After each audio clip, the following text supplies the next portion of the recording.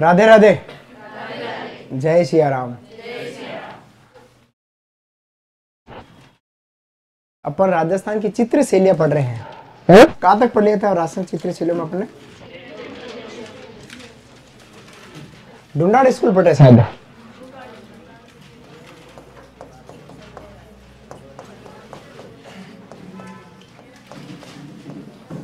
चित्र शैलियों की बात कर रहे हैं।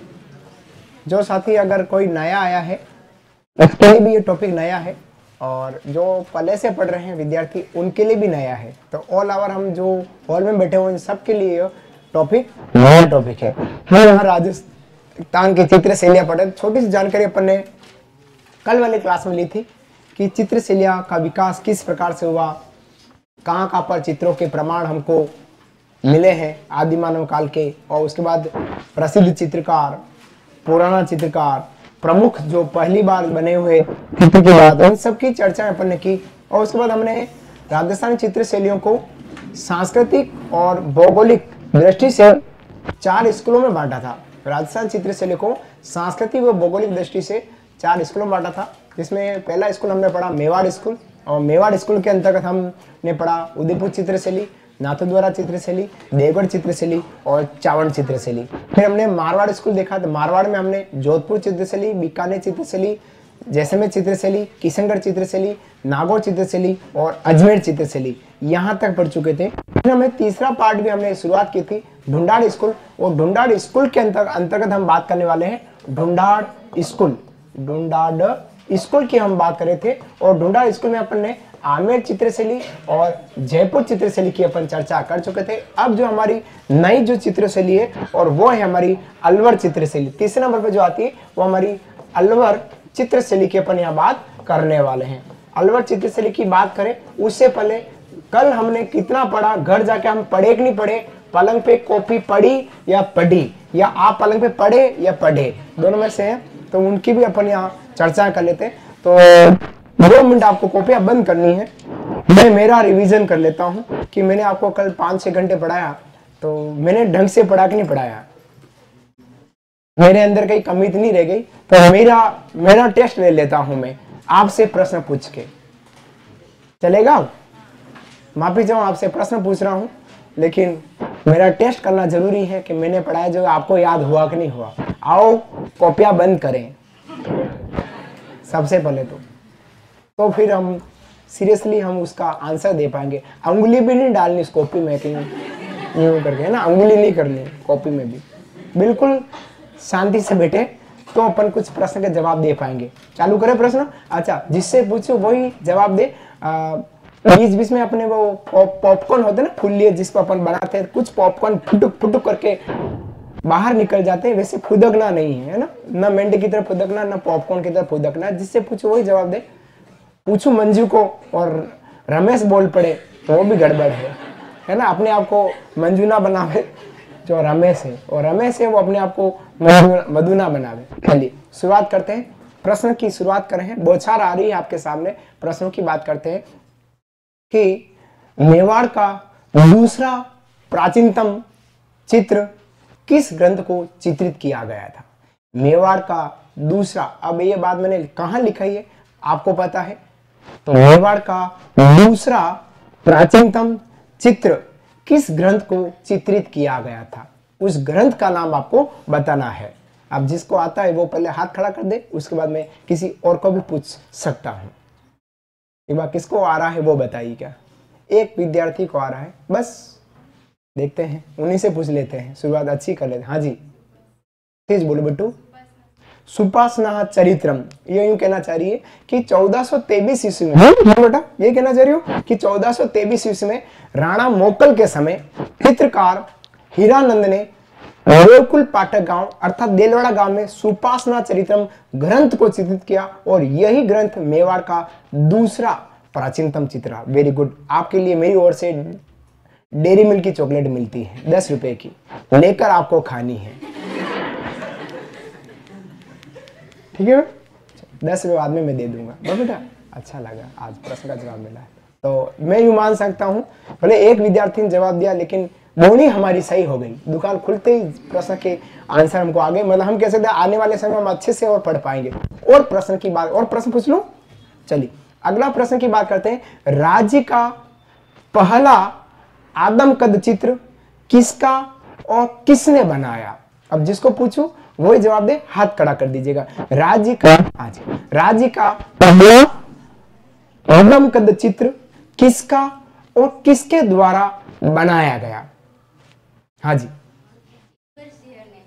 ईश्वर ईश्वर सिंह ने बनाया और किसके लिए? ईश्वरी सिंह का साहिब राम ने बनाया।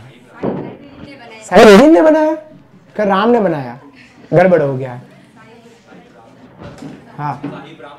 साहिब जयपुर के शासक ईश्वरी सिंह का जयपुर अच्छा जवाब आपने दिया लेकिन थोड़ा सा उल्टा सीधा दे दिया बाकी जवाब का अच्छा लगा।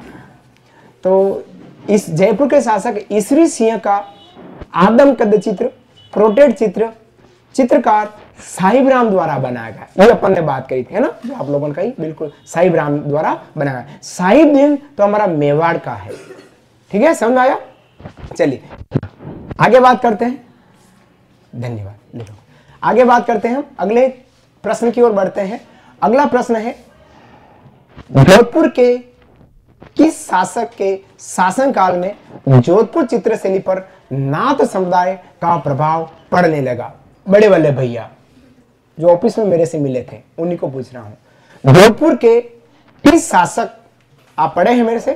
कल, है ना? जो फिर से प्रश्न को अच्छे समझना। और आप लोग भी समझना। जोधपुर के किस शासक, के शासन काल में जोधपुर चित्रशैली पर नाथ समुदाय का प्रभाव पड़ने लगा? हाँ। कौन सा शासक था? हाँ? मान सिंह जोधपुर का मान सिंह या जयपुर का मान सिंह जोधपुर का मान सिंह तो जोधपुर के शासक मान सिंह के समय नाथ समुदाय का प्रभाव जोधपुर चित्रशैली पर आने लगा। चलिए, आगे बात करते हैं। अगला जो प्रश्न है, वो प्रश्न है कि राजस्थान में पौराणिक कथाओं पर आधारित राजस्थानी शैली में बने चित्र किस नाम से जाने जाते हैं? हाँ बेटा। क्या कला बोली? भाई ने मथुरन कला मथुरन कला जो है बीकानेर की वो पौराणिक कथाओं पर आधारित राजस्थानी शैली में दीवार पर चित्र बनाए जाते हैं, जिसको अपन मथुरन कला कहते हैं। मथुरन कला के प्रमुख चित्रकार कौन कौन है?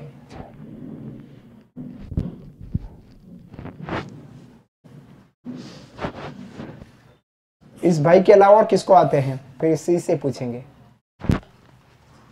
मथुरन कला के प्रसिद्ध चित्रकार कौन कौन है? पंडित जी। अरे राजा, यूँ क्या करें? किसको पता है? हाँ बेटा।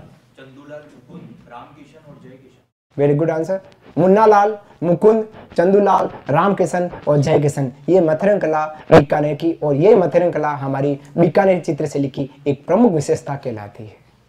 तो वो हम कह सकते हैं थोड़े थोड़े अभी अभी हम कमज़ोर हैं। हमने तीन चार प्रश्न किए उसमें से तीन या चार विद्यार्थी हैं जिन्होंने ढंग से जवाब दिया है। तो आप अगर इस तरह से हम पढ़ेंगे तो क्या होने वाला वो आपके सामने आईना आपके सामने है। शादी करने की नहीं करनी है। शादी करनी है तो पहले पढ़ लेना। है ना? शादी के बाद आपको पढ़ने का मौका नहीं मिलेगा। और शादी हो गया पढ़ लिया नौकरी लग गई अच्छा लड़का भी मिलेगा और अच्छी लड़की भी मिलेगी। हो सकता है अच्छा मारसा मिल जाए हो सकता है अच्छी बहन जी भी मिल जाए। तो पहले शादी करने से पहले पढ़ ले और नौकरी लग जाए। चलिए। शुरुआत करते हैं, जो नए साथी उनका भी स्वागत पुराने साथियों के साथ। अभी हम बात कर रहे थे अलवर चित्र शैली किसकी बात करें अपन? अलवर चित्र शैली की बात करें। हेडिंग डालेगा अलवर चित्र शैली ढूंढा स्कूल की हम अलवर चित्र शैली की बात करेंगे। अब हम सबसे पहले अलवर चित्र शैली में बात करें। देखो अपन, कल तक जो पढ़ा, वो सेम टू सेम हम बात कर रहे हैं। तो अलवर चित्र शैली का सबसे पहले हम विकास से शुरुआत करते हैं कि अलवर चित्र शैली का विकास किस राजा के शासनकाल में हुआ? तो अलवर चित्रशैली का जो विकास हुआ है, वो राव बख्तावर सिंह का शासनकाल राव बख्तावर, लिख लीजिएगा। राव बख्तावर सिंह का शासनकाल, सिंह का शासन।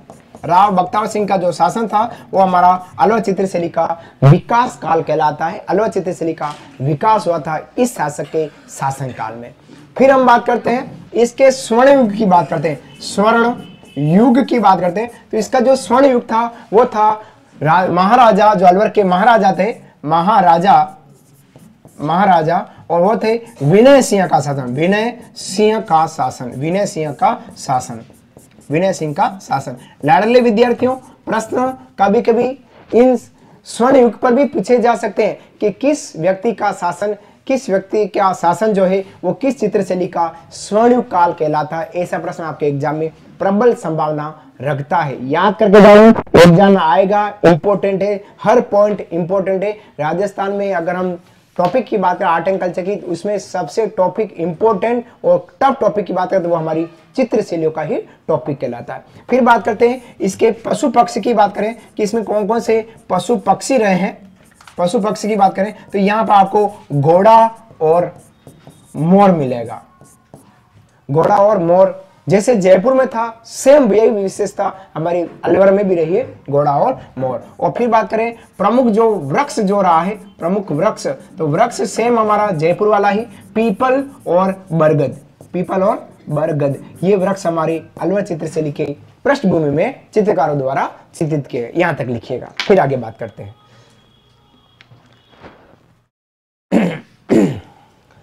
अलवर चित्रशैली का जो विकास हुआ है, राव बख्तावर सिंह के शासनकाल में हुआ है। इस चित्रशैली का स्वर्णिम काल महाराजा विनय सिंह का शासनकाल कहलाता है।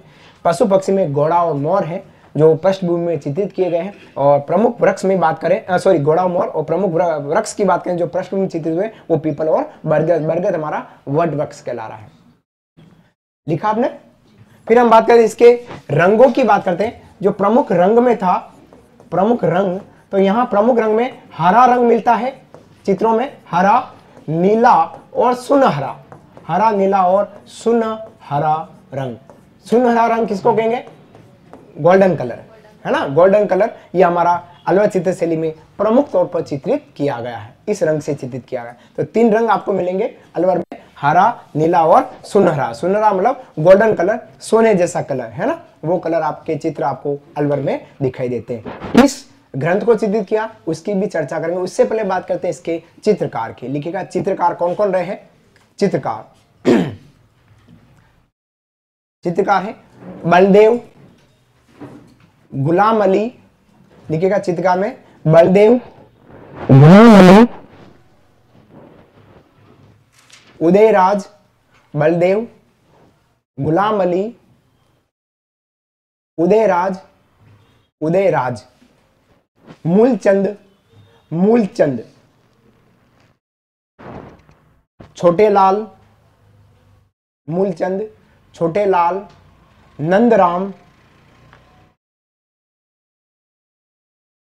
डालू राम डालू राम और सालिग राम सालिग राम सालिग राम सालिग राम सालिग राम। ये हमारे अलवर चित्र से लिखे प्रमुख चित्रकार हैं। याद रखना अलवर चित्र से लिखे प्रमुख चित्रकार बलदेव, गुलाम अली, उदयराज, मूलचंद छोटे लाल नंदराम और सालिग्राम ये हमारे अलवर चित्र से लिखे प्रसिद्ध चित्रकार में जाने जाए अब इसकी विशेषताओं की बात करें, क्या आपको इसके विशेषताओं में दिखाई देता है? तो पुरुषों के जो चित्र हैं, उसकी बात करें। सबसे पहले विशेषताएँ। लिखेगा विशेषताएँ क्या है? तो इसकी बात करें, पुरुषों के चित्र जो है, उसमें गोल आँखें दिखाई गई है, लिख लेना गोल आँखें गोल आँखें अलवर है, अलवर में पुरुषों की आँखें कैसी है? गोल आँखें हैं और पतले होठ पान से रचे हुए। पतले होठ पान से रचे हुए, पान से रचे हुए। अब आप देखो, होठ कैसे हैं? कितने बढ़िया होठ है? पुरुष के। ऐसी महिलाओं के होठ मिलेंगे आपको।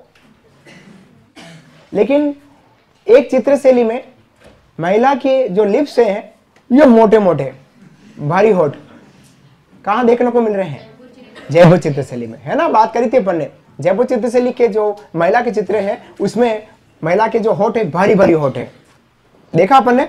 लेकिन जैसे हम यहाँ आए अलवर में तो पुरुष और महिला दोनों की बातें करते हैं तो पुरुषों के होठ कितने? बिल्कुल पतले रहते हैं, यूँ, पतला पतला और पान खाया हुआ एकदम पतले पतले होठ। लिपस्टिक कम चाहिए, लेकिन जयपुर में ज़्यादा चाहिए थी। तो यहाँ लिपस्टिक की भी ज़रूरत नहीं, क्योंकि पान खाया है तो होठ भी रचे हुए हैं, यूँ। इस तरह से।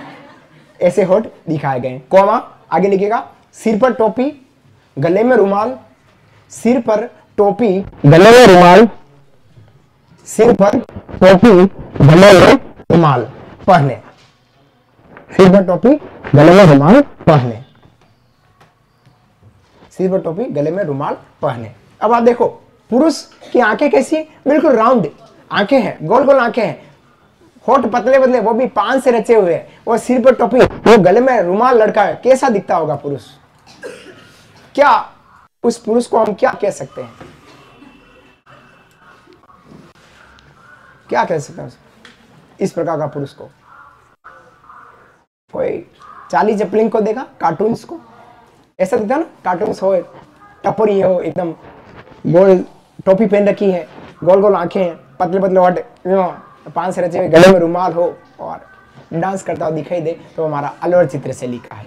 फिर बात करते हैं स्त्री चित्र में, लिखेगा सेकंड विशेषता स्त्री चित्रों में गोल आँखें सेम चलेगा पीछे बैठने वाले ध्यान से बैठे हैं ना नाल खुली है। हाँ। वहाँ मत बैठो तो भी चलेगा मेरे हिसाब से। नहीं एकदम कभी आप मेरी बात से हा हा करके एकदम चुप जाएँगे तो चक्कर पड़ जाएगा। आगे सीट खाली है यहाँ जा यहाँ आ जाए फिर। एकदम रास्ते में बैठ रहे हो इसलिए। थोड़ा थोड़ा आगे हो जाओ डर लगने लगा मेरे को तो। चलो देखिएगा स्त्री चित्रों में गोल आँखें स्त्री चित्रों में गोल आँखें, पतले होठ, पान से रचे हुए।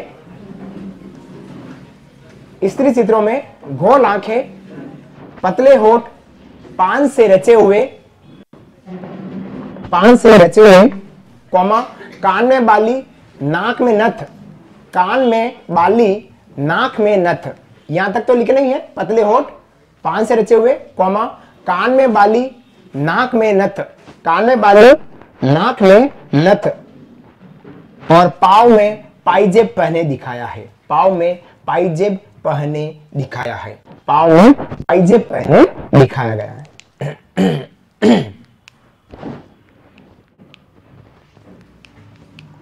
पाव में पाइजे पहने दिखा गया है। तो ये हमारी महिला दिखाई देती है अलवर की। चेहरा दोनों का सेम दिखाया है, पुरुष और महिला का। आँखें गोल है, और पतले होठ पान से रचे हुए लेकिन महिला ने क्या पहन रखा है? आभूषण पहने दिखाया गया ठीक है? अब हम इस चित्र से लिखी अगली विशेषता की बात करें तो हमारे जो यहाँ के शासक थे बख्तावर सिंह, कौन थे? राव बख्तावर सिंह। तो लिखेगा चित्रों में, एक चित्र में, ऐसा लिखो, एक चित्र में राव बख्तावर सिंह को जंगल में, एक चित्र में राव बख्तावर सिंह को जंगल में साधु संत, साधु संतों से कर दो, साधु संतों से धार्मिक चर्चा, साधु संतों से धार्मिक चर्चा करते दिखाया गया है। साधु संतों से एक चित्र में राव बख्तावर सिंह को जंगल में साधु संतों से धार्मिक चर्चा करते दिखाया गया है। धार्मिक चर्चा करते दिखाया गया है।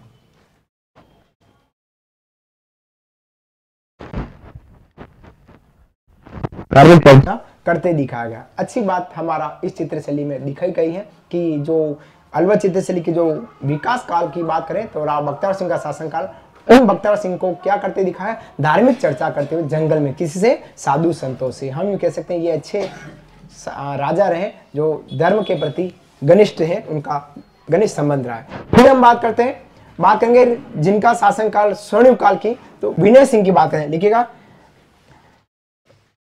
विनय सिंह ने विनय सिंह ने चित्रकार विनय ने चित्रकार बलदेव उदयराज बलदेव उदयराज बलदेव उदयराज गुलाम अली के माध्यम से गुलाम अली के बलदेव उदयराज गुलाम अली के माध्यम से के माध्यम से के माध्यम से गुलिस्तान की पांडुलिपि, गुलिस्तान माध्यम से गुलिस्तान की पांडुलिपि पांडुलिपि पांडुलिपि, लिपि ग्रंथ को, ग्रंथ का नाम है गुलिस्तान की पांडुलिपि, ग्रंथ को हीरे जवाहरात हीरे जवाहरात। हीरे जवाहरात की शाही की शाही कोष्ट में सुनहरा रंग से चित्रित करवाया। हीरे जवाहरात की शाही कोशंगना सुनहरा रंग से चित्रित करवाया, से चित्रित करवाया।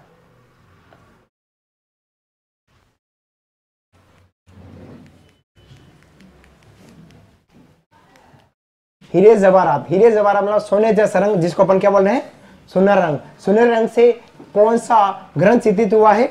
गुलिस्तान की पांडुलिपि ग्रंथ। अब इस ग्रंथ के रचयिता कौन है? अगर प्रश्न कभी साहित्य समिति पूछ ले तो गुलिस्तान की पांडुलिपि ग्रंथ के रचयिता है, वो है शेख शादी। कौन है? शेख शादी। तो एक नीचे नीचे आप जहाँ लिखा उसी के नीचे लिख लो। गुलिस्तान की पांडुलिपि के रचयिता शेख शादी, ऐसा लिख लीजिएगा। ये कहीं साहित्य में पूछ ले तो आपको याद रखेगा। हाँ? शादी हाँ शादी, सही। शादी नहीं है, शादी है। शेख शादी। गुलिस्तान की पांडुलिपि के रचयिता कौन है? शेख शादी। तो एक बात ये आपको यहाँ याद रखनी है कि इस ग्रंथ के रचयिता कहीं यूँ पूछ ले, या इस ग्रंथ को किसने लिखा, ये पूछ लिया, या इस ग्रंथ को किस रंगों से रचित किया गया? तो सुनर रंग, जिसको अपन बोलते हैं हीरे जवाहरात की शाही वो किस समय रचित किया गया? तो विनय सिंह के समय रचित किया। किसने किया? तो बलदेव उदयराज गुलाम अली द्वारा चित्रित किया गया। ठीक है, समझ आया? चित्रकार भी पूछ ले, शासक पूछ ले, रंग पूछे या ग्रंथ पूछे, या ग्रंथ के रचयिता पूछे। पाँच पॉइंट पाँच प्रश्न एक ही लाइन में आपको मिल रहे हैं। इसमें से एक आधा प्रश्न आने की संभावना रखता है और इस लाइन पर अनेकों एग्ज़ाम इस प्रश्न को पूछा हुआ है। पुराना पेपर उठाकर देखेंगे तो आपको यह प्रश्न आपको मिल जाएगा। ठीक है? नेक्स्ट अगली विशेषता की बात करते हैं। देखिएगा, राजा मंगल सिंह के समय, राजा मंगल सिंह, राजा मंगल सिंह के समय चित्रकार मूलचंद ने, राजा मंगल सिंह के समय चित्रकार मूलचंद ने हाथी दांत की पट्टी पर, की पट्टी पर सुंदर चित्र बनाए। सुंदर चित्र बनाए। राजा मंगल सिंह के समय चित्रकार मूलचंद ने हाथी दांत की पट्टी पर सुंदर चित्र बनाए। हाथी दांत की पट्टी पर सुंदर चित्र बनाए। अगर आपको पता हो, हम जयपुर पहुँचते हैं। अलवर से निकल हम जयपुर पहुँच जाते हैं तो वहाँ एक चित्रकार मिलेगा, लालचंद। वो अलवर आते हैं तो चित्रकार मिलता है मूलचंद। जयपुर गए तो वहाँ पर भी हाथी के चित्र मिल रहे हैं। अलवर आए तो भी हाथी के चित्र। लेकिन जयपुर में लालचंद ने हाथियों की लड़ाई के चित्र बनाए हैं। देखो आप जयपुर में पढ़ा आपने कल। अरे पढ़ा के पढ़ा? कि जयपुर में लालचंद द्वारा स्टेडियम चौगान में होने वाली हाथियों की लड़ाई को चित्रित किया। जयपुर में आपने ये बात पढ़ी। और जैसे आप अलवर में आए तो अलवर में लालचंद की जगह कौन सा चंद आ गया? मूलचंद। वो मूलचंद ने क्या किया अलवर में? हाथी दांत की पट्टी पर। दांत जो है, उस पट्टी पर सुंदर चित्र बनाए। दोनों हाथी के चित्र है। चंद दोनों अलग अलग है सेलिया दोनों अलग अलग है। तुलना करके आपको समझा दिया है। ठीक है? नेक्स्ट, अगली बात। राज्य की एकमात्र चित्र शैली राज्य की एकमात्र चित्र शैली जहाँ जहाँ गणिकाओं जहाँ गणिकाओं क्वेश्चन को वेश्याओं के सर्वाधिक चित्र मिले हैं, सर्वाधिक चित्र बने गणिकाओं के सर्वाधिक चित्र बने। राज्य की एकमात्र चित्र शैली जहाँ गणिकाओं क्वेश्चन वेश्याओं के सर्वाधिक चित्र बने। वेरी इंपॉर्टेंट यह एग्ज़ाम आने जैसा प्रश्न है। आ सकता है आपके एग्ज़ाम में, पूछा जा सकता है कि राजस्थान की ऐसी कौन सी चित्र शैली जहाँ गणिकाओं के चित्र आपको देखने को, प्रचुर मात्रा में देखने को मिलते हैं तो वो हमारी अलवर चित्र शैली है। ठीक है? याद रखना, गणिका वेश्या नाम की हम बात करें तो राजस्थान में गणिका नाम से चार पाँच बातें प्रसिद्ध हैं, जो हमारे एग्ज़ाम में पूछी जा सकती है। अब क्या बातें प्रसिद्ध है? सबसे पहले बात करते हैं, गणिकाओं की बात करते हैं हम, गणिका की। जीवन में, पढ़ते की परीक्षा, जीवन में बहुत इंपॉर्टेंट गणिकाओं की बात करते हैं। सबसे पहले बात करें कि वेश्याओं का मंदिर, प्रश्न आ जाए आपके जीके में पूछ लिया जाए कि राजस्थान के किस मंदिर को वेश्याओं का मंदिर कहते हैं? या पातरिया रो देवरो? पातरिया पातरिया रो देवरो नाम से देवरो, जिसको बोलते हैं वे, वेश्याओं का मंदिर। वेश्याओं का मंदिर कहलाता है। यह प्रश्न आपके एग्ज़ाम में पूछा जा सकता है इंपॉर्टेंट है। कौन सा मंदिर है जिसको पात्रियारो देवरो कहते हैं? तो वो मंदिर हमारा नेमीनाथ मंदिर। कौन सा मंदिर है? नेमीनाथ जैन मंदिर। नेमीनाथ जैन मंदिर और यह मंदिर है हमारा रणकपुर में। रणकपुर कहाँ पड़ता है? हाँ बिल्कुल, रणकपुर। रणकपुर पाली में यह मंदिर बना हुआ है। अब वहाँ कोई वेश्या नहीं है, न वेश्याओं के चित्र लगे हुए हैं। यहाँ नेमीनाथ जी की जो मूर्ति है, जो हमारे जैन धर्म के बाईसवें तीर्थंकर है, उनकी मूर्ति है। तेईसवें पासनाथ जी चौबीसवें हमारे महावीर स्वामी जी और प्रथम तीर्थंकर तीर्थंकर आदिनाथ जी ऋषभ देव जी या केशरियानाथ जी ठीक है? तो यहाँ नेमिनाथ जी की जो मूर्ति है, उसके मंदिर के बाहर गुम्मद बना हुआ, गुमटी देखी होगी आपने? उस गुमटी पर महिला और पुरुष को नग्न अवस्था में दिखाया गया है। बिल्कुल नग्न अवस्था में। अब नग्न अवस्था जो दिखाई गई है तो हमारे मनुष्य के इसका अर्थ क्या है वो समझा रहा हूँ। मनुष्य के जीवन में चार पुरुषार्थ होते हैं। पुरुषार्थ। हमारे जीवन में कितने पुरुषार्थ होते हैं? चार पुरुषार्थ है। कौन कौन से पुरुषार्थ हैं? धर्म, आपने छठी क्लास पास हो आप लोग? हाँ तो फिर तो आपने पढ़ा होगा। धर्म, अर्थ, काम और मोक्ष। अब हम सबका पालन कर रहे हैं और आगे बढ़ रहे हैं। धर्म का भी पालन कर रहे हैं। हम अपने धर्म का प्रचार करते हैं। हम अपने धर्म के इष्ट देव को हम याद करते हैं। जो भी हम बोलते हैं, है ना? अर्थ का भी काम कर रहे हैं। मैं भी कर रहा हूँ। आप लोग भी बहुत जल्द करेंगे, परीक्षा पास करते अर्थ कमाएँगे। काम जो पुरुषार्थ है, परिवार की बात करता है, इस पुरुषार्थ को हम लेकर चल रहे हैं और मोक्ष की कामना करते हैं कि अब मेरे को मोक्ष मिल जाए।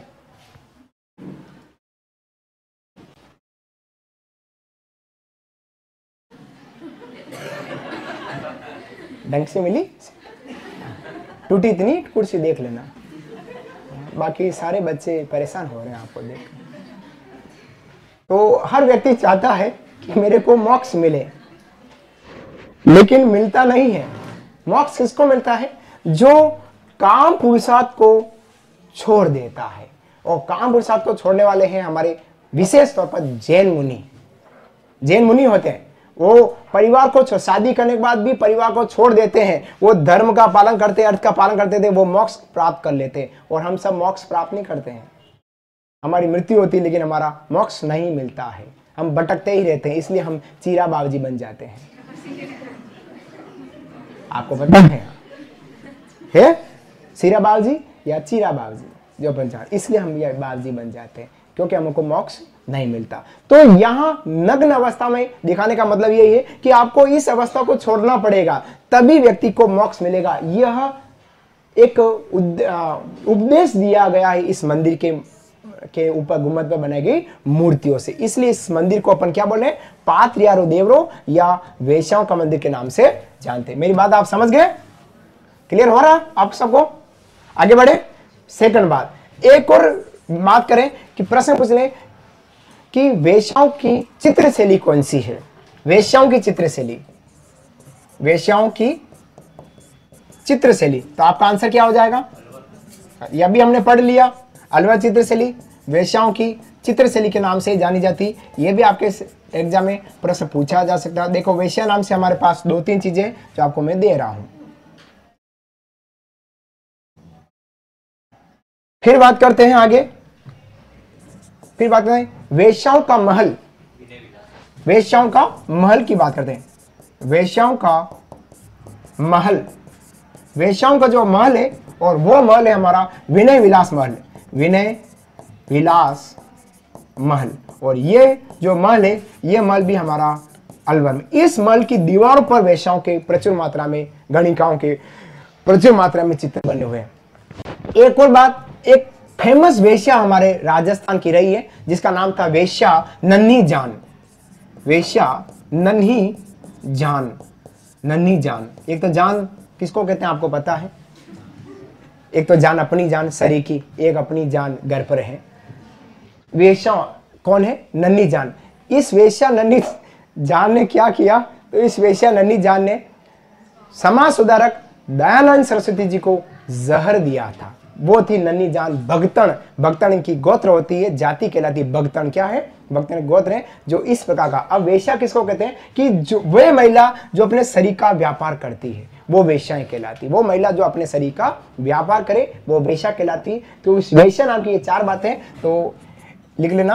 इन्होंने दयानंद जी को, दयानंद जी को जहर दिया। लिख लो।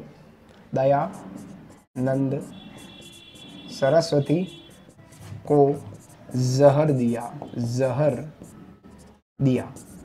ये आपकी चार बातें। वेश्या नाम से एग्ज़ाम कहीं पूछे, याद रखना। नोट करके इसी के नीचे लिख लो। याद रह जाएगा आपको।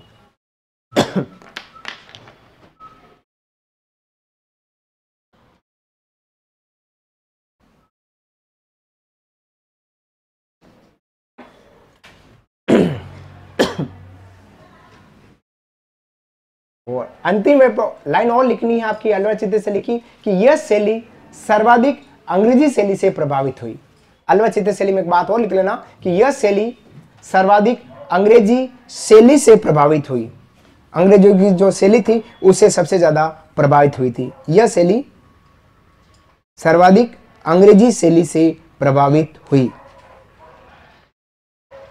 अंग्रेज़ी शैली से प्रभावित हुई। ये था साथियों हमारा राजस्थान का ढूंढार्स स्कूल का एक चित्र शैली जिसका नाम है अलवर चित्र शैली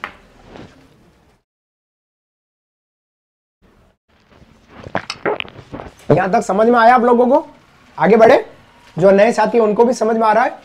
चलिए, अब हम बात करते हैं अगली चित्र शैली की बात। एक छोटी सी चित्र शैली हमारे ढूंढाड़ स्कूल की, उसकी बात करते हैं। तो वो है हमारी उनियारा चित्र शैली लिखेगा उनियारा उनियारा चित्र शैली कौन सा? अब घर लिखना। लिखो। जल्दी लिखो। ये पॉइंट बना लेना। वेशा संदर्भ में कुछ बातें। एग्ज़ाम कहीं पूछे थे। लिखा नहीं क्या आपने?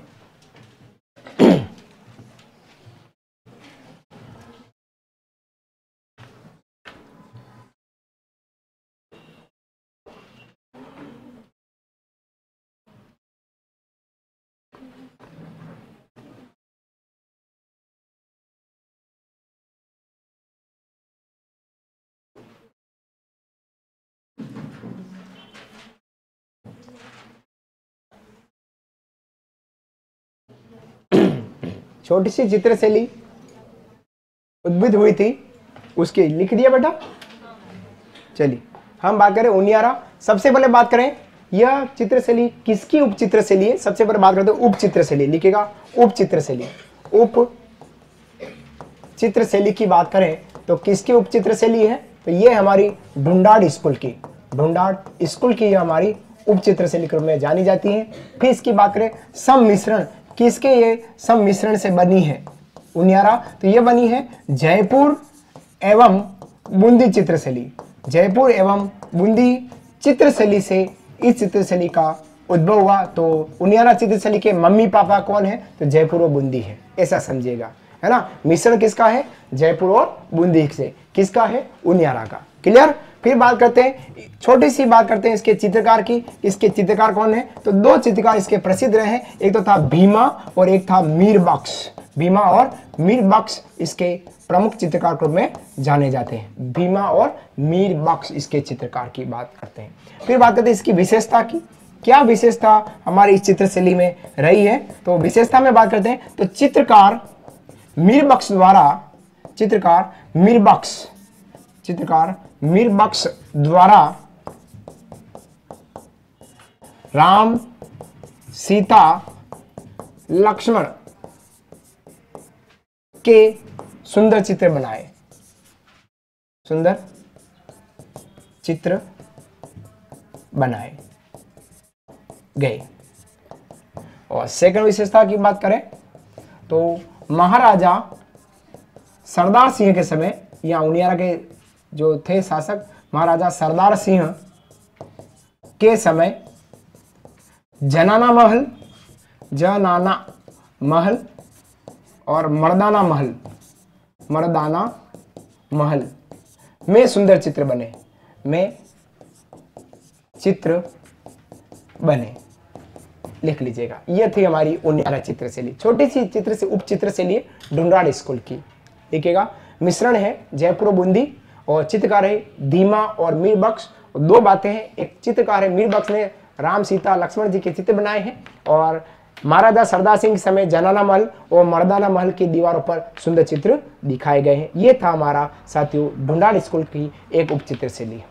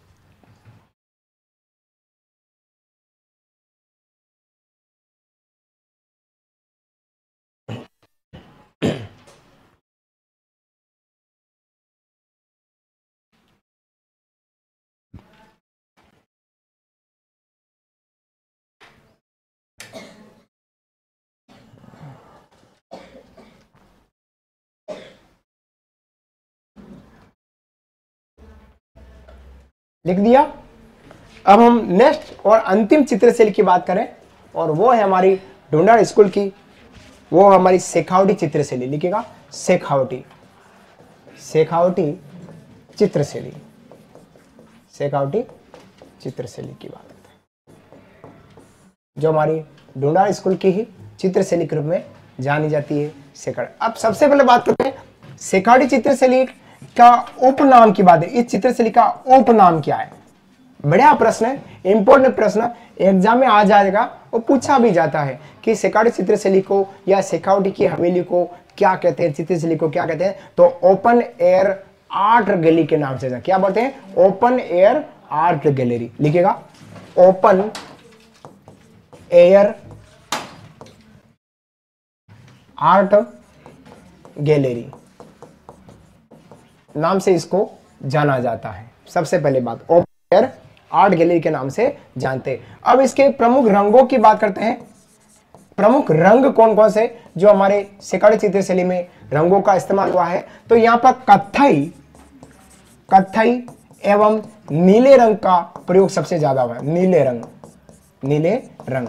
याद रखना, हर चित्रशैली में प्रमुख कोई कोई रंग आ रहे हैं। लेकिन जोधपुर और नागौर एक चित्रशैली ऐसी थी जहाँ रंगों की बातें कुछ अलग थी। बाकी चित्रशैली में कौन कोई अमुख रंग की बात, दो या तीन रंग की बात आ रही। लेकिन जैसे हम जोधपुर जैसलमेर जाते हैं तो वहाँ पर विभिन्न रंगों की बात आती है और बीकानेर सॉरी नागौर पहुँचते हैं तो वहाँ बूझे हुए रंग हल्के रंगों का प्रयोग। और बाकी सब चित्रशैली में प्रमुख रंगों की बात कही गई है। तो सेकंड चित्रशैली में किन रंगों से चित्र बने हैं? तो कथई और नीला रंग। ऐसी है हमारी एक हस्तकला है। ऐसी हमारी एक हस्तकला है। अब हमारी हस्तकला कौन सी है? ओ, लाइट मारती है क्या? लाइट भी लाइट मारती है।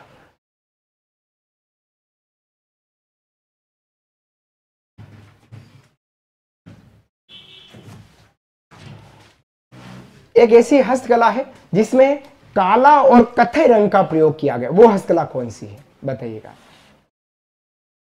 राजस्थान की ऐसी कौन सी हस्तकला है जिसमें काला और कथई रंग का प्रयोग सबसे ज़्यादा हुआ है? हस्तकला में। मेरे वर्ग में बेटा रंग कहाँ है? तो वो तो कपड़े पर कांस रख कर उसके चारों तरफ़ कसीदाकारी करना है। काला कथई रंग।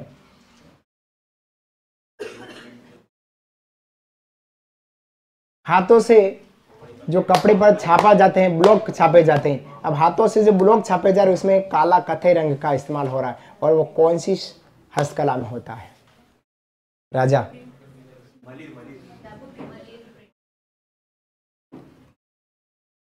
अजरक में है मलिर में है या बगरू में है या सांगानेरी में है। कन्फर्म मलिर? पक्का? एचपी सर की चलिए तो सही है। तो मलिर रंग है आ, मलिर प्रिंट है जो बालोतरा ज़िले की वहाँ पर कथई और काला रंग। लेकिन वहाँ पे कौन सा रंग है? कथई और नीला रंग। याद रहेगा मैंने तुलना करने के लिए आपको समझाया वहाँ ले गया हूँ जहाँ ले जाना था। तो मेरी बात आप समझ गए होंगे कि कथई और काले रंग का इस्तेमाल किस हस्तकला में हुआ है? मली प्रिंट और मली प्रिंट कहाँ की है? बाड़मेर की नहीं है, अब बालोतरा की बात, क्योंकि बालोतरा अलग जिला बन गया है तो बालोतरा ज़िले से। लेकिन अजरक प्रिंट है, उसमें किस रंगों का इस्तेमाल होता है? वो भी बालोतरा का है। अजरक प्रिंट में। कॉपी देख लिया?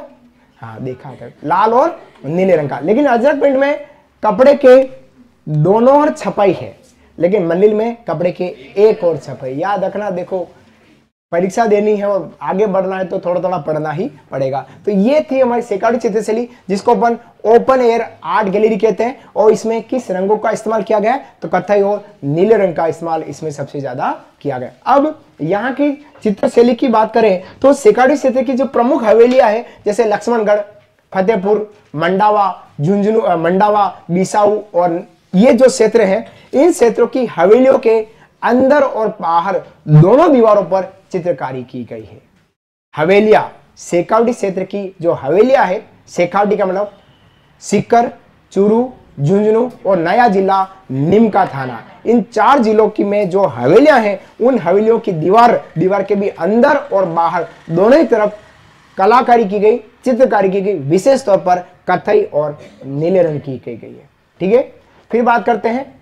जोगीदास जी की छतरी है, जो हमारी झुंझुनू में है। चित्रकार था देवा जिसने उस छतरी पर बहुत अच्छी सी कलाकारी चित्रकारी करी है, जो इस चित्रशैली की विशेषता क्रम में जान। इस चित्रशैली में आपको और देखने को क्या मिलेगा? लोक जीवन के दृश्य आपको यहाँ देखने के मिलेंगे। ये प्रश्न आया हुआ है एग्ज़ाम में फिर से पूछा जा सकता है कि राजस्थान की ऐसी कौन सी चित्रशैली जहाँ पे लोक जीवन का दृश्य दिखाए लोक जीवन समझ रहे हो? लोक जीवन का मतलब क्या? बताइए। लोक जीवन का मतलब? लोक जीवन। यहाँ की चित्रशैली में लोक जीवन को दर्शाया गया है। लोक जीवन का मतलब? हमारा जीवन, हम किस प्रकार से जी रहे हैं? उन सब की बातें इस चित्र से लिखी दीवारों पर दिखाई गई, लोक जीवन। इसके अलावा आपको क्या मिलेगा? परिवहन के साधन मिलेंगे। परिवहन परिवहन के साधन मिलेंगे। रोडवेज़ बस मिलेगी, टेंपो मिलेंगे, जीप, ट्रक मिलेंगी, हवाई जहाज़ मिलेगी, ट्रेन मिलेगी। इस मतलब परिवहन के जितने भी साधन है, वो सब साधन यहाँ चित्रित किए गए इसके अलावा यहाँ पर चित्रों में मिलता है मल्ल युद्ध। कौन सा युद्ध है? मल्ल युद्ध और क्या मिलेगा? कुश्ती मिलती है। ये चित्रों में दिखाए गए। मल्ल युद्ध है, कुश्ती है। उसके अलावा साधु संत है, राक्षस है, इस चित्र से दिखाई जाते इसके अलावा एक महिला की बालों की लट लहराते हुए दिखाई गई है। प्रश्न ये और बनता है, राजस्थान की एकमात्र चित्रशैली जिसमें महिला के बालों की लट का लहराते हुए दिखाना, वो किस चित्रशैली की प्रमुख विशेषता है। तो कौन सी है? सेकंड अब महिला की बालों की लट कैसे लहराती है? देखिएगा। काफ़ी सारी महिलाएँ तो बालों को गूंथ लेती पीछे लेकिन कुछ महिला क्या करती, बालों को कटवाती है। तो कुछ बाल तो ये आगे यूँ रहते हैं, यूँ। देखे होंगे। और वो बाल को इतनी वो महिला समझाती है लेकिन वो दोनों ही प्रकार की जो लटे हैं, नालायक है बार बार आगे आँखों के आगे आ जाती है। वो महिला बार बार यूँ करती रहती है, यूँ करती है, वो कान के पीछे लेती है। फिर अभी लिखना बैठती है, फिर वो भी दोनों यूँ आगे आ जाते हैं। दोनों ही नालायक बाल हैं, लटे हैं। मेरा बस चले तो पर ऐसा कर नहीं सकते हैं। उन्होंने बहुत मेहनत करके डेढ़ सौ रुपये देकर उसको इस तरह से बनाया है। वो बांसवाड़ा हूँ।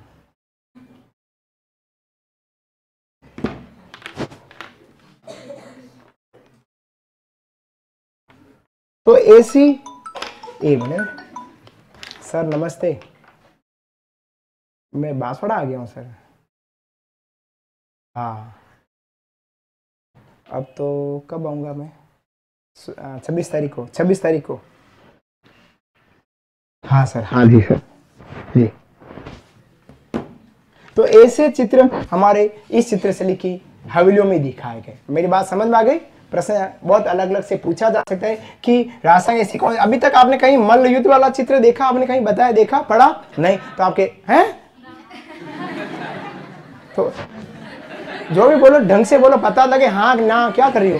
तो ऐसा चित्र हमने और कहीं देखा ओनली फॉर सिक्योरिटी चित्र सेलिम देखा तो मल्ल युद्ध मल्ल युद्ध समझे, कुश्ती जैसे युद्ध होता है, एक तरफ़ दो खिलाड़ी, एक तरफ़ एक खिलाड़ी होता है, और फिर लड़ा जाता है, वो मल्ल युद्ध कहलाते हैं। कुश्ती आपने देखी, लोक जीवन परिवहन के साधन, महिला के बालों की लट यूँ लहराते हुए, जो हवा में यूँ लहराते दिखाए गए, वो हमारी चित्रशैली की प्रमुख विशेषता कहलाती लिखेगा विशेषताएँ, विशेषता लिखेगा विशेषताएँ। शेखावटी के प्रमुख क्षेत्र शेखावटी के प्रमुख क्षेत्र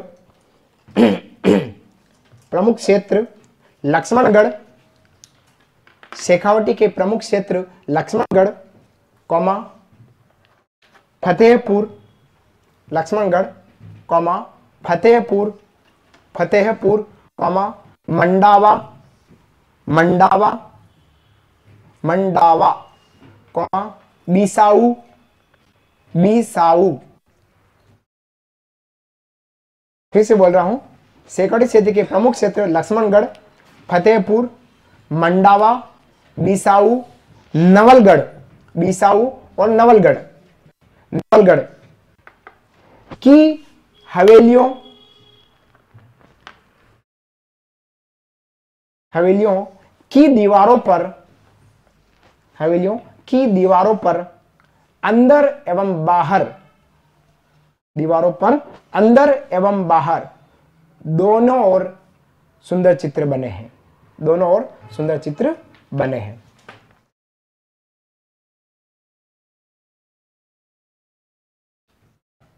दोनों ओर सुंदर चित्र बने हैं। अच्छा यहाँ पर सर्वाधिक, पहली बार फेस्को पद्धति, आला गिला पद्धति या आराइस पद्धति का प्रयोग जयपुर चित्र शैली में हुआ। कल बात करी। लेकिन यहाँ सबसे ज़्यादा अराइस पद्धति का उपयोग हुआ। अराइस अराइस पद्धति या आला गिला पद्धति। कल बात करें। अब आला गिला पद्धति क्या होती है? उसकी बात करते हैं कि जो प्लास्टर की गई जो दीवार है, जैसे अपन ये मकान बनाते हैं प्लास्टर करते हैं ना, उस चूने की दीवार पर नम दीवार पर जो चित्र बनाए जाते हैं, उसको अपन आला गिला पद्धति या अराइस पद्धति या फेस्को पद्धति कहते हैं। और ये फेस्को पद्धति कहाँ की है? तो ये फेस्को जो पद्धति, ये हमारी इटली से आई है। कहाँ से आई है? इटली। याद रखना, मैं अभी लिखा रहा हूँ। फेस्को पद्धति कहाँ से आई? इटली की है। इसको अपन यहाँ क्या बोलते हैं? अराइस या आला गिला और सेकड़ी क्षेत्र में इसको बोला जाता है पणा। क्या बोलते हैं?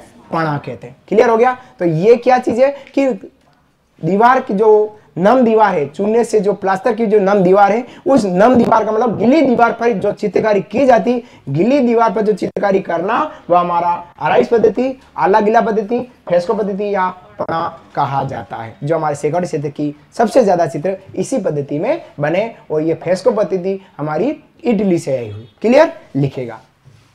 इस क्षेत्र में, इस क्षेत्र में अराइस पद्धति ओब्लिक आला पद्धति ओब्लिक फेस्को पद्धति ओब्लिक करके लिख लीजिएगा।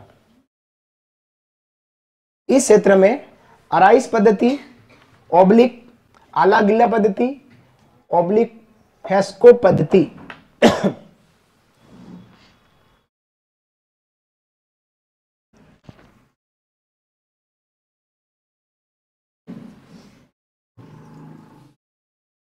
फेस्को पद्धति। लिखा फेस्को पद्धति तक अब क्वेश्चन लिखो। प्लस्तर की हुई नम दीवार पर चित्र बनाना। फेस्को पद्धति क्वेश्चन लिखो। प्लस्तर। प्लस्तर की हुई की हुई नम दीवार पर, नम दीवार पर चित्र। और कोष्टक बंद कर दो। प्लस्तर मतलब प्लास्टर जो अपन करते हैं, कारीगर करते हैं, है ना? तो प्लस्तर की हुई नम दीवार पर चित्र कोष्टक बंद। नम नम दीवार, नम मतलब गिली दीवार, जो प्लास्टर वाली गिली दीवार पर चित्र कोष्टक बंद। तो मैंने बोला है, इस क्षेत्र में आरआईस पद्धति आला गिला पद्धति या फेस्को पद्धति का सर्वाधिक प्रयोग हुआ। का सर्वाधिक प्रयोग हुआ। क्वेश्चन बंद करके लिखो, का सर्वाधिक प्रयोग हुआ। का सर्वाधिक प्रयोग हुआ।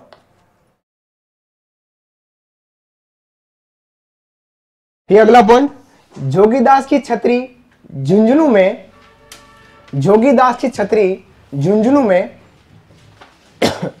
जोगीदास की छतरी झुंझुनू में,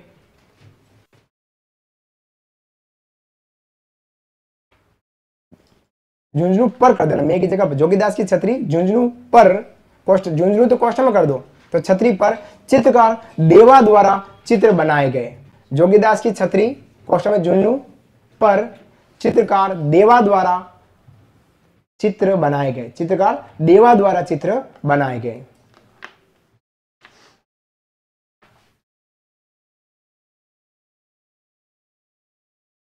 यहाँ के चित्रों में, लिखेगा अगला पॉइंट, यहाँ के चित्रों में विशेष लोक जीवन, यहाँ के चित्रों में विशेष लोक जीवन, विशेष लोक जीवन कौमा, परिवहन के साधन, लोक जीवन, परिवहन के साधन, परिवहन के साधन, कौमा, मल्ल युद्ध मल्ल युद्ध, म आधा ल और ल लिखना, मल मल मत करना, है ना? मल गलत शब्द है। मल्ल युद्ध, कौमा, कुश्ती कुश्ती कौमा देवी देवता कुश्ती कौमा देवी देवता, कौमा राक्षस देवी देवता, कौमा राक्षस, तथा एक चित्र में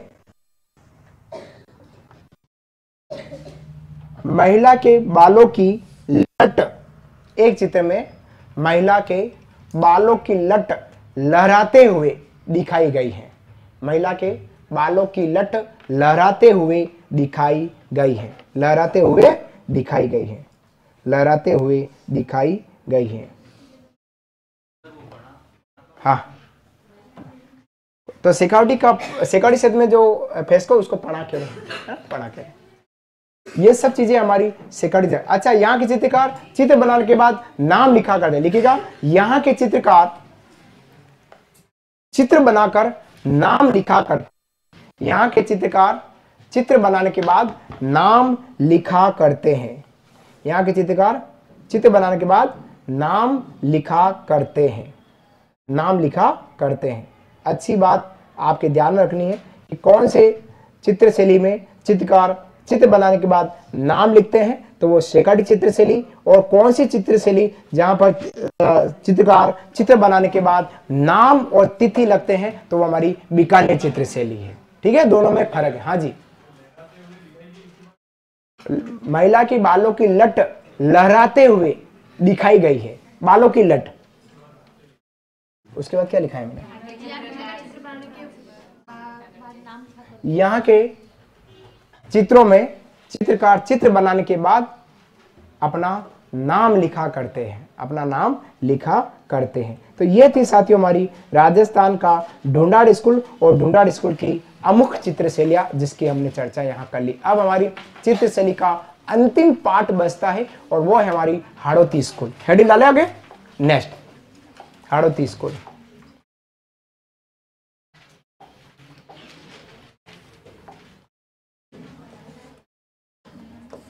चौथा स्कूल है हमारा हाड़ोती स्कूल।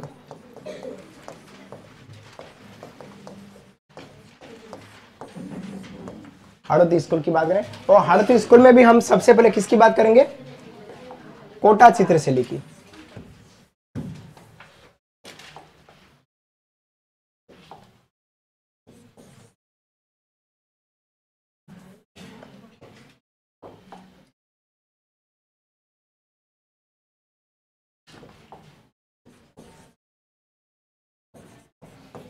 कोटा चित्र शैली की अपन बात करने वाले हैं। कोटा चित्रशैली। दो चित्रशैली और बचती है, फिर यह मैटर समाप्त है, फिर हम नए टॉपिक और बढ़ने वाले हैं। हेडिंग डालेगा कोटा चित्रशैली।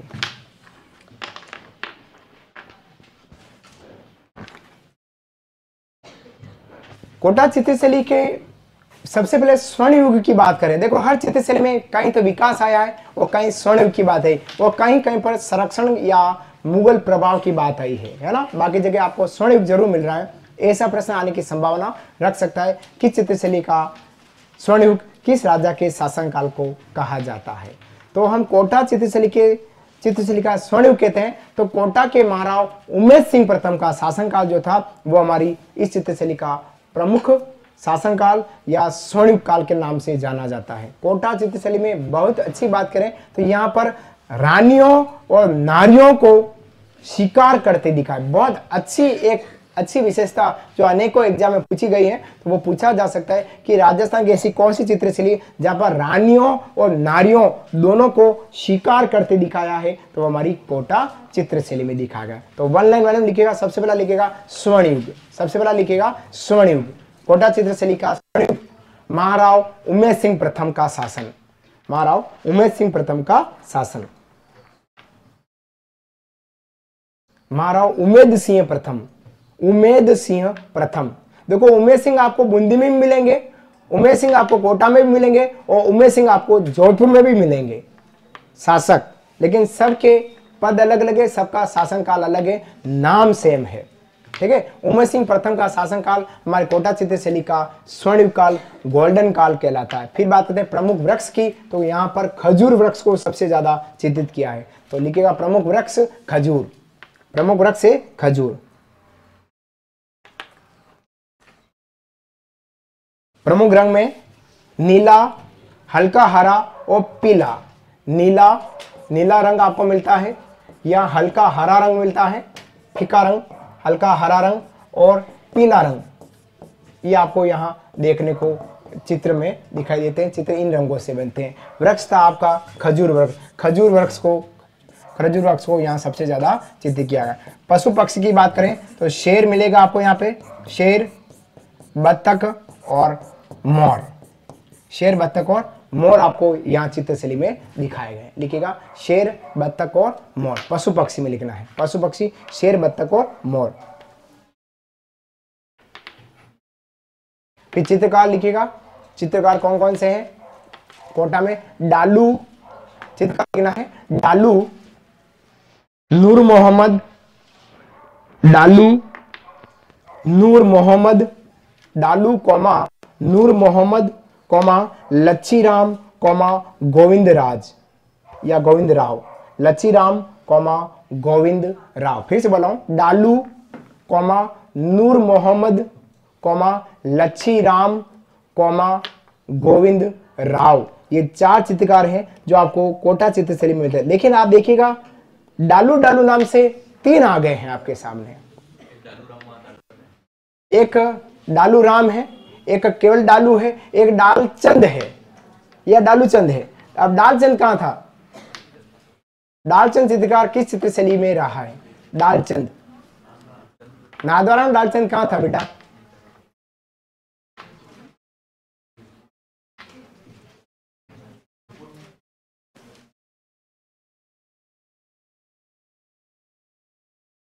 जहाँ जिसने किसी एक शासक का चित्र बनाया था, जोधपुर में रहा है। पन्ना पलटा है और देखा है। किस शासक का चित्र बना है? लालचंद ने। अब घर जाके पढ़ते नहीं हो, ऐसा लगता है। घर जाके कॉपियाँ घर पे रखी और खाना ना खाया, खाना बनाया और खा लिया, वहाँ घूमने गए इधर उधर और वापस वापस आ गए। बस यही चलता है सिलसिला। फिर कैसे सिलेक्शन होगा आप लोगों का? थोड़ा सा पढ़ना पड़ेगा। हाँ। नृत्य देखते हुए नाचते हुए नहीं नृत्य देखते हुए। अब कोई व्यक्ति जवाब देता है तो उस पर आप हंस जाते हो और खुद को जवाब आता नहीं है। अब उसने कहा कि नाचते हुए तो आप हंस पड़े मैंने कहा नहीं नृत्य करते हुए तो आपको हँसी आ गई। ये हँसी आपने अपने लिए हँसी है। इस भाई के लिए आप नहीं हंसे ये भाई अच्छा है जो जवाब भी तो कम से कम देता है। और कोई भी जवाब देता है विद्यार्थी तो हमारे कक्षा में एक बहुत गंदी आदत होती है हर विद्यार्थी की वो है, है, है, है करने की। अब इसने कहा कि नाचते हुए, मैं कहा, नहीं, नाचते नहीं, नृत्य करते हुए। क्या मतलब निकला इसका? आप अपने ऊपर ही हंस रहे हैं, जो आप हंस रहे हैं अभी भी। समझ में आया ना? तो हंसे नहीं और उसको याद करने का प्रयास करें। पता नहीं कौन सा प्रश्न, कब डालचंद डालू या डालू राम कब आपकी जोली में गिरे? और सुमिलित करने के लिए पूछ ले। आओ, आगे बात है। लिखिएगा, विशेषताएँ।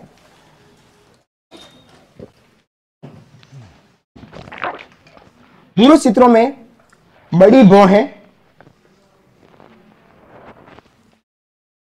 बड़ी भौहें पुरुष चित्रों में बड़ी भौहें भौहें जानते हैं? भौहें क्या होती है? भौहें ये, जो हमारी महिलाएँ दागों से छोटा कर लेती है और कोटा के जो पुरुष है, उनके चित्रों की भौहें बड़ी बड़ी हैं। बड़ी भौहें कौमा, बीस रुपए लगते हैं। फिर पता नहीं। बीस ही लगते हैं शायद? हाँ तो बीस रुपए एक आँख की बात कर रहा हूँ मैं। चौड़े कंधे, लिखेगा चौड़े कंधे, चो, ये, चौड़े कंधे घनी दाढ़ी मुछे चौड़े कंधे कौमा घनी दाढ़ी मुछे हाथों में तलवार लिए दिखाया गया हाथों में तलवार लिए दिखाया गया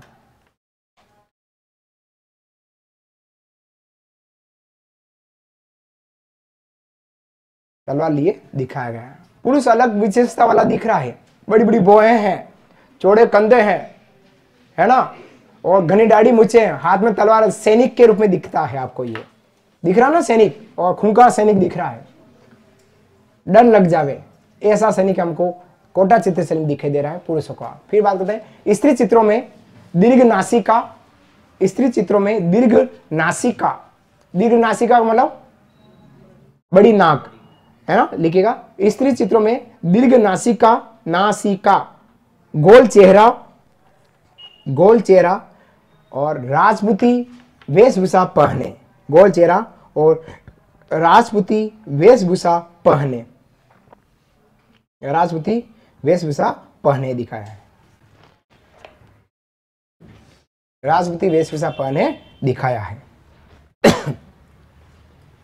ठीक है, अब बात करते हैं विशेषताओं की और बात करते हैं। देखिएगा चित्रकार डालू द्वारा, चित्रकार डालू द्वारा चित्रकार डालू द्वारा रागमाला ग्रंथ के चित्र बनाए हैं। चित्रकार डालू द्वारा रागमाला ग्रंथ के चित्र बनाए हैं। चित्रकार डालू द्वारा रागमाला ग्रंथ के चित्र बनाए हैं। रागमाला ग्रंथ के चित्र बनाए हैं। डालू द्वारा रागमाला ग्रंथ के चित्र बनाए हैं। फिर बात करते हैं, यहाँ के चित्रों में, यहाँ के चित्रों में नारियों और रानियों को रानियों द्वारा शिकार करते दिखाया गया। यहाँ के चित्रों में रानियों, नारियों और रानियों द्वारा शिकार करते दिखाया गया है। शिकार करते दिखाया गया है।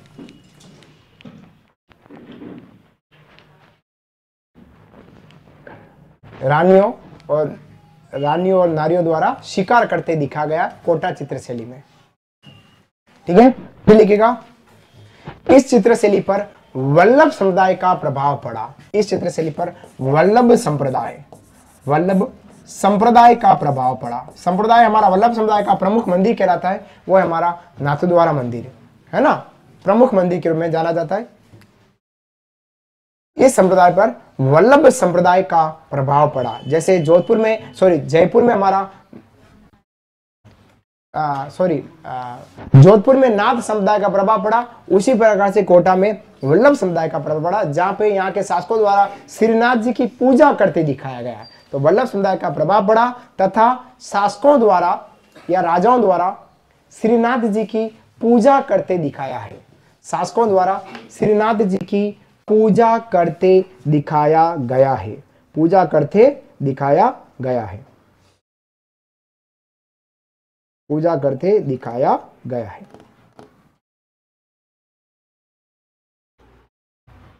पूजा करते दिखाया गया है। ये थी साथियों हमारी कोटा चित्रशैली की जानकारी। अब हमारी अंतिम चित्रशैली बचती है। और वो है हमारी हारती स्कूल की अंतिम चित्रशैली, और वो लाती है हमारी बूंदी चित्रशैली। हेडिंग डालेगा बूंदी चित्रशैली बूंदी चित्रशैली।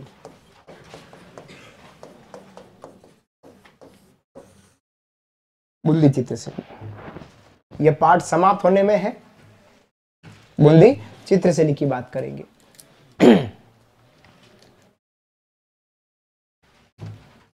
बूंदी चित्रशैली की हम बात करें तो बूंदी चित्रशैली में सबसे पहले हम विकास की बात करें तो राव सुरजन सिंह का शासनकाल जो है, यहाँ के राजा सुरजन सिंह, उनके शासनकाल में इस चित्रशैली का सबसे ज़्यादा विकास हुआ है।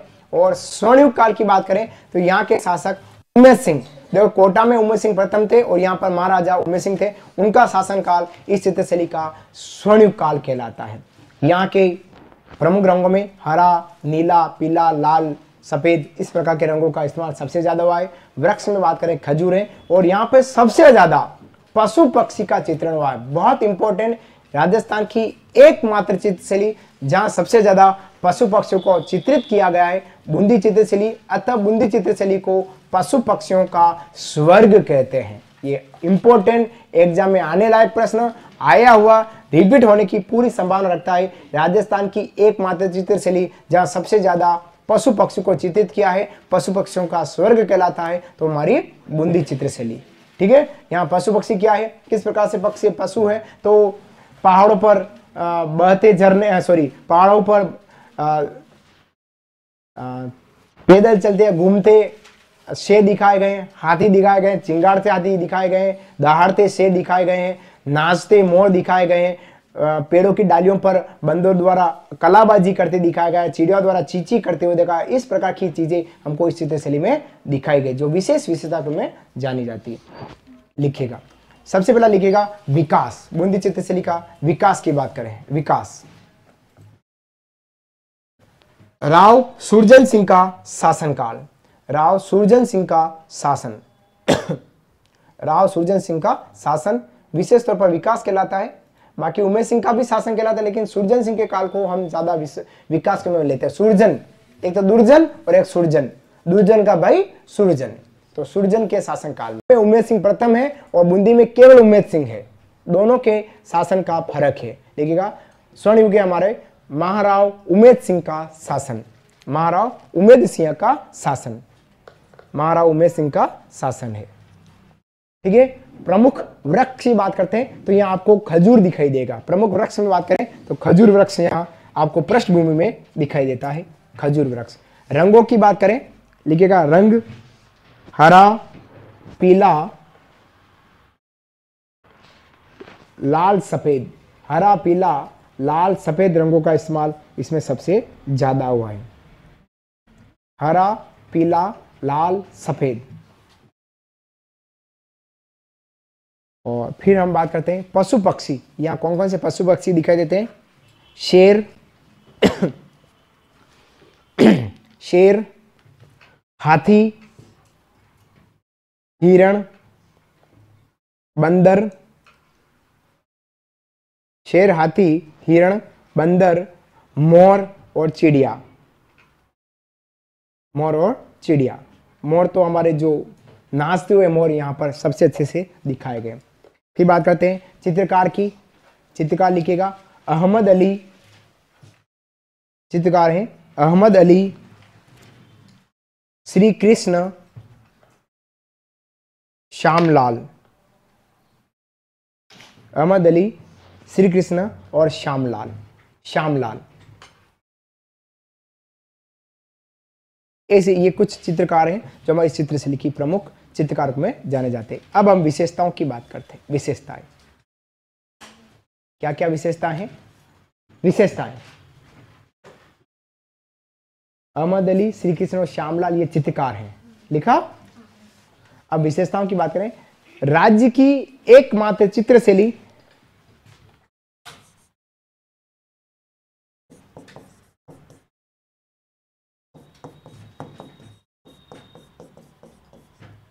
राज्य की एकमात्र चित्रशैली जो सर्वाधिक राज्य की एकमात्र चित्रशैली जो सर्वाधिक पशु पक्षी पर चित्रित है। पशु पक्षी पर चित्रित है। अतः इसे पशु पक्षियों का स्वर्ग कहते हैं। अतः इसे पशु पक्षियों का स्वर्ग कहते हैं। पशु पक्षियों का स्वर्ग कहते हैं। पशु पक्षियों का स्वर्ग कहते हैं।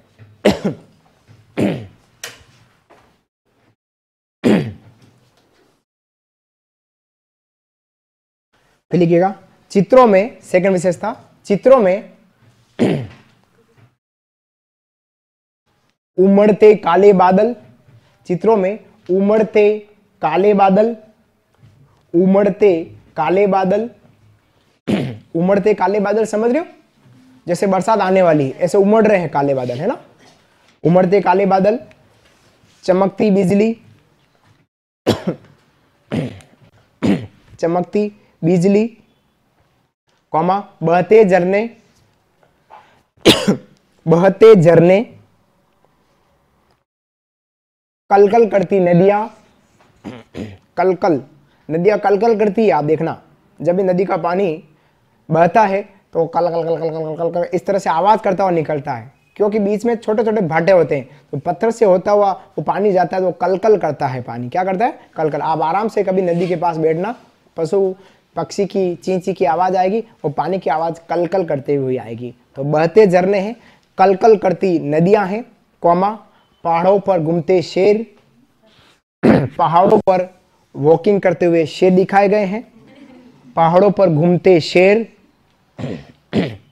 झूमते हाथी झूमते हाथी। झूमते हाथी का मतलब?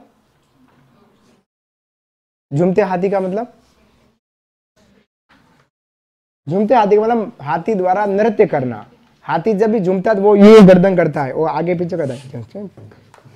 इस तरह से करेगा। तो ये झूमते हाथी कहलाया। देखना, उसकी पूंछ तो इतनी सी होती है डेढ़ फीट की, वो हल्की हल्की सी होती रहती। देखा, पूंछ बड़ी थोड़ी होती, हाथी की इतनी सी पूंछ होती, वो अपनी मक्खी भी नहीं उड़ा सकता है। गाय तो अपनी पूंछ को यूँ ले भी सकती है। लेकिन हाथी नहीं कर सकता। हाथी के पूंछ की जगह सुंड है। वो चाहे जो कर सकता है। है ना? अपने को भी लपेट लेता है।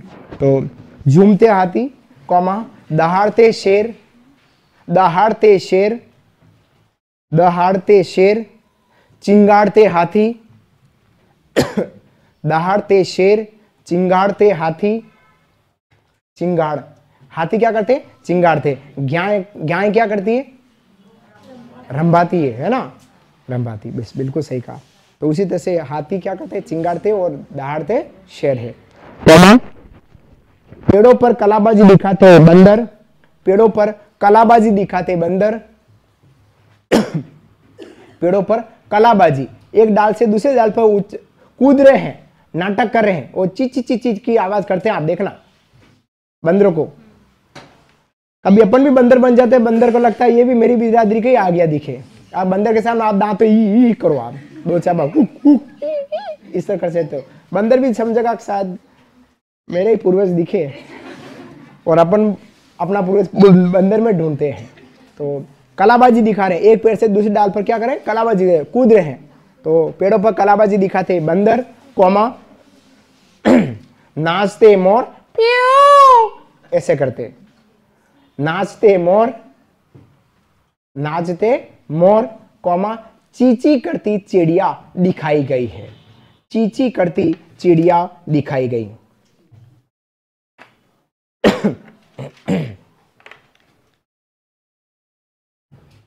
अब यहाँ पर महिला चित्र के आँखों का कुछ भी चीज़ नहीं दिखाई आँख कैसी दिख रही है, होठ कैसे दिख रहे हैं, कलरफुल है नहीं है, किस प्रकार के, ऐसा कुछ भी नहीं है। भारी होठ है पतले होठ है लिप्स कैसे हैं, आँख कैसी कुछ भी नहीं है। लेकिन एक चित्र में महिला नीचे बैठी हुई और पैर के पाँव में कांटा लग गया है तो वो कांटा निकालते दिखाया गया है। एक चित्र ऐसा भी है, महिला का चित्र कैसा है कि नीचे बैठे हुए और पैर के पाँव से कांटा निकालते हुए देखा। और एक चित्र में महिला वीणा बाजारी, क्या बाजारी? वीणा बाजारी। उस वीणा को देख रहा है हिरण, टेढ़ी नज़र से। वीणा अगर इधर बाजारी तो वो हिरण यूँ इस तरह से टेढ़ा टेढ़ा उसको देख रहा है। ऐसा चित्र इस चित्र शैली में दिखाएगा लिखेगा, चित्रों में स्त्री अपने पैर से कांटा निकालते हुए चित्रों में स्त्री अपने पैर से कांटा निकालते हुए, पहले कांटा लगा, फिर निकालते हुए। कांटा निकालते हुए, कौमा, एक स्त्री वीणा बजाते हुए, एक स्त्री वीणा बजाते हुए, वीणा बजाते हुए। जिसे हिरण उसकी ओर देख रहा है। वीणा बजाते हुए जिसे हिरण उसकी ओर देख रहा है।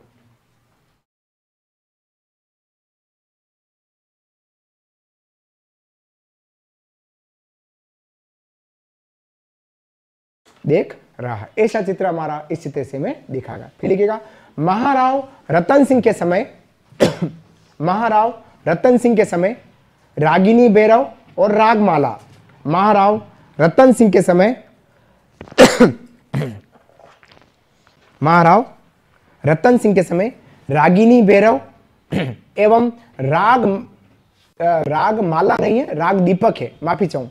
राग माला मत करना, है ना? राग दीपक रागिनी भैरव और राग दीपक रागिनी भैरव राग दीपक ग्रंथ के चित्र बने हैं। राग दीपक ग्रंथ के चित्र बने हैं। ग्रंथ के चित्र बने हैं। फिर लिखिएगा अगली विशेषता। एक चित्र में महाराव उमेद सिंह द्वारा, एक चित्र में महाराव उमेद सिंह द्वारा जंगली सुअर का शिकार करते हुए, एक चित्र में महाराव उमेद सिंह द्वारा जंगली सुअर का शिकार करते हुए दिखाया है। जंगली सुअर का शिकार करते दिखाया है।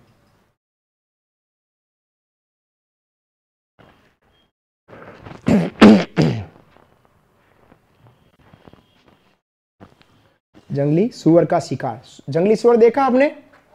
बाहुबली वाला। बाहुबली में हमारी देवसेना जंगली सुअर का शिकार करने जाती है, उसके साथ वो राजकुमार जाते हैं और उसके साथ भोला बनने वाला बाहुबली भी जाता है।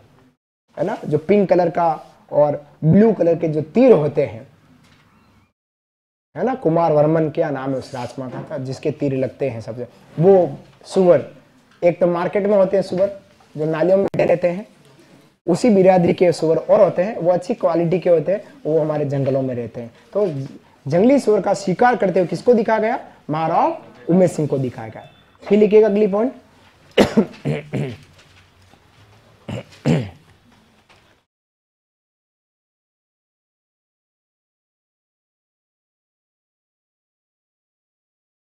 चित्र में एक अंग्रेज़ दंपति को, चित्र में एक अंग्रेज़ दंपति को पियानो बजाते हुए दिखाया गया है, पियानो। चित्र में एक अंग्रेज़ दंपति को पियानो बजाते हुए दिखाया गया है, पियानो बजाते हुए दिखाया गया है। एक चित्र में एक अंग्रेज़ दंपति को पियानो बजाते हुए दिखा गया, पियानो बजाते, पियानो। वाद्य है पियानो पियानो बजाते हुए दिखाया गया है। पियानो जानते हैं आप लोग? एक हारमोनियम होता है। हारमोनियम के ऊपर केशियो और केशियो का बड़ा रूप जो पेटी नुमा होता है, काला रंग का, जिसको अपन पियानो कहते हैं। ऐसा पियानो बजाते हुए हमारे कौन दिख रहे हैं? अंग्रेज़ दंपति दिख रहे हैं। तो ये थी हमारी बुंदी चित्रशैली, जिसकी हमने जानकारी यहाँ ले ली है। तो हम यहाँ पर लगभग 16-17 चित्रशैलियाँ यहाँ हम पढ़ चुके हैं। तो राजस्थान जितनी भी चित्रशैलियाँ थी, उसकी विस्तारित जानकारी आपके सामने मैंने प्रेजेंट कर दी है। देख लीजिएगा, एक मिनट का समय आपके पास। और जो लेट आए हैं और जिन्होंने नहीं लिखा तो वो विद्यार्थी चाहे तो किसी पड़ोसी साथी से देख कर उतने पेज छोड़ दे और उसके बाद फ़ोटो खींच के ले जाओ और लिख देंगे।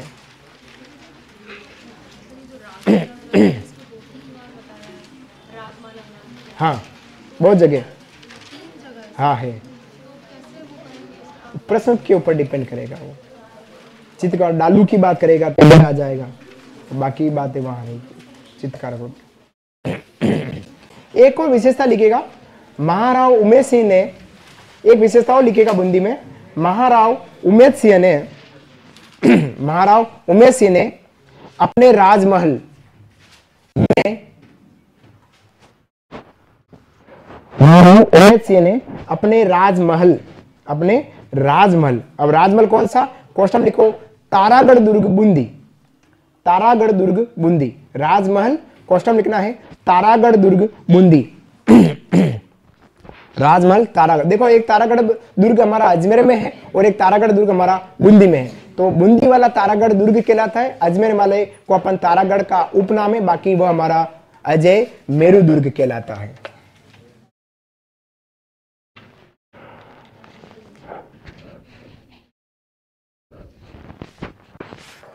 तारागढ़ दुर्ग, बूंदी क्वेश्चन लिखा है। तो महाराज उमेश सिंह ने अपने राजमहल में रंगशाला, राजमहल में रंगशाला रंगशाला क्वेश्चन लिखो चित्रशाला, रंगशाला क्वेश्चन चित्रशाला चित्रशाला। बनाई जहाँ सुंदर भित्ति चित्रण हुआ है, बनाई जहाँ सुंदर भित्ति चित्रण हुआ है, दीवारों पर चित्र बने हैं। भित्ति चित्रण हुआ है, चित्रण। जहाँ सुंदर भित्ति चित्रण हुआ है। भित्ति चित्रण हुआ। तो ये थी साथियों हमारी राजस्थान की चार स्कूल और चारों स्कूल की समस्त चित्र शैलियाँ यही समाप्त हुई। क्लियर समझ में आ गया आपको? आगे बढ़े। अब हमने इतने चित्र देख लिए, लेकिन मैंने भी कह दिया कि ये चित्र यहाँ इसी स्थानों पर बने। लेकिन देखे कहा। कहाँ देखने जाए ऐसे कौन से स्थान है? इन चित्रों को देख सकते हैं। तो राजस्थान में कुछ संग्रहालय बने हुए हैं, कुछ संस्थाएँ हैं, वहाँ पर इन चित्रों को देखा जा सकता है। तो ऐसे चित्र शैली संबंधी या चित्रकला संबंधी कुछ संग्रहालय हैं, उनकी बात करेंगे और कुछ संस्थाएँ हैं, उनकी बात करते हैं। तो अगला पॉइंट डालिएगा, इसी के आगे चित्रशैली संबंधी प्रमुख संग्रहालय। ऐसा लिखे चित्रशैली संबंधी प्रमुख संग्रहालय।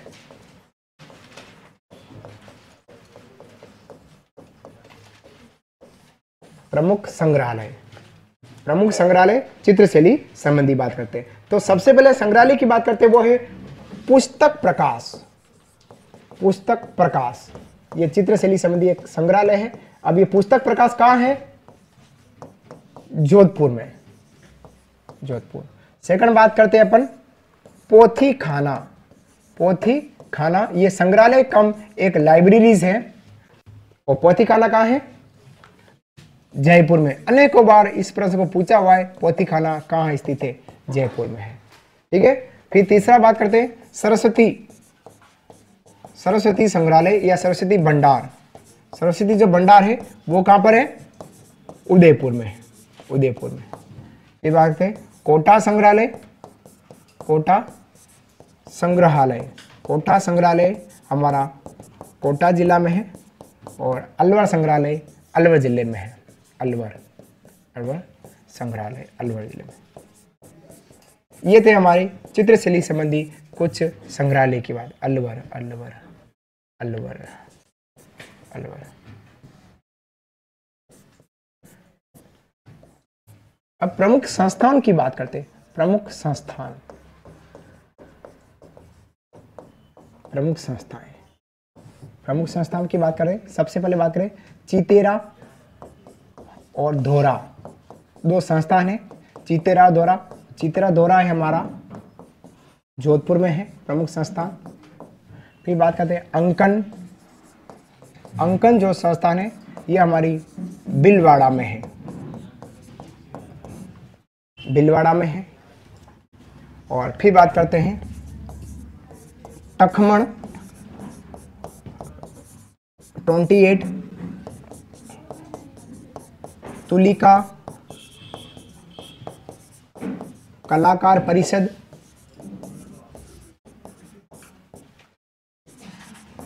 आज उदयपुर। ये सब संस्था हमारी उदयपुर में है। अंकन है। अंकन ही तो लिखा है। अंकन। पेग, आयाम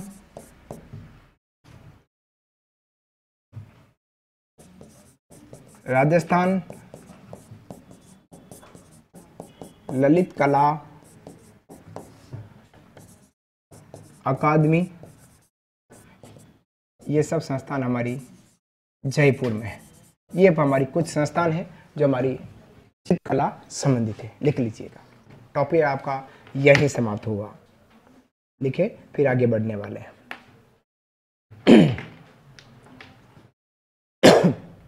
आज उदयपुर।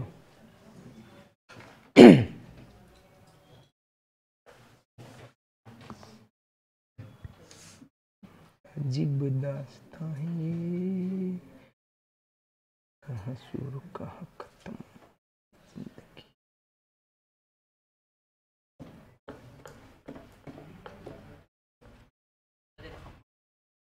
टखमन 28 एक संस्थान का नाम है। टखमन 28 उदयपुर में है। टखमन 28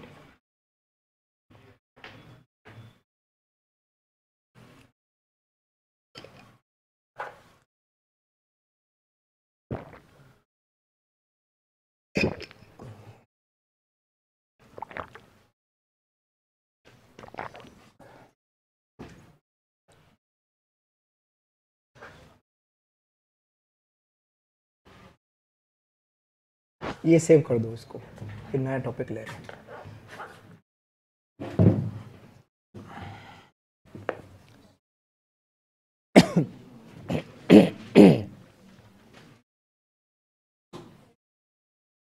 अठारह मिनट की? एक घंटा अठारह मिनट है।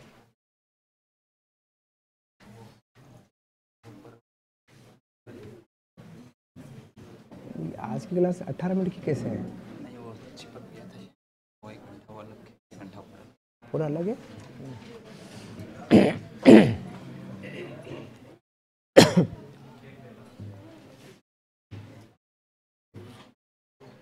लिखा? आपके पास दो मिनट है और चित्र शैली को पढ़ लीजिएगा। फिर मैं एक नया टॉपिक ले रहा हूँ, अभी भी और देखे बनाना है चित्र शैली का बनाना एक, दो मिनट आपके पास चित्र शैली में घुमानी है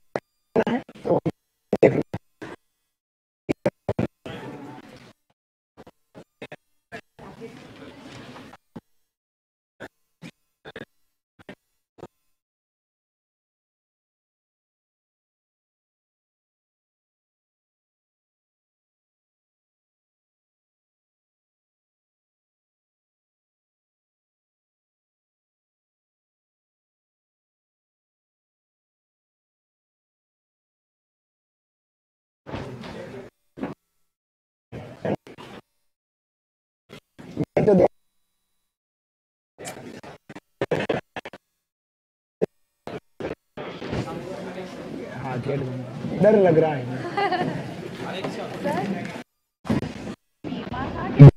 धीमा धनुष वाला ध। धीमा धीमा तो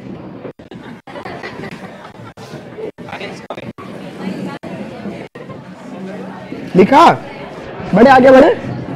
और करो और अभी है ना? नया टॉपिक लेंगे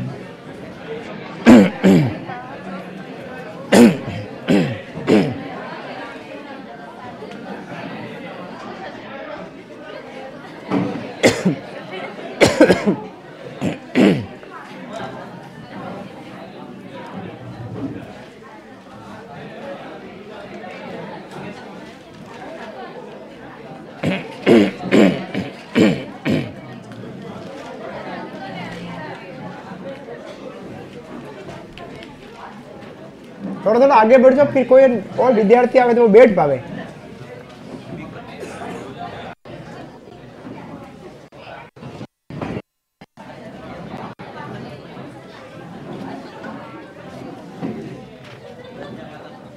करे चालू हाँ, आ जाओ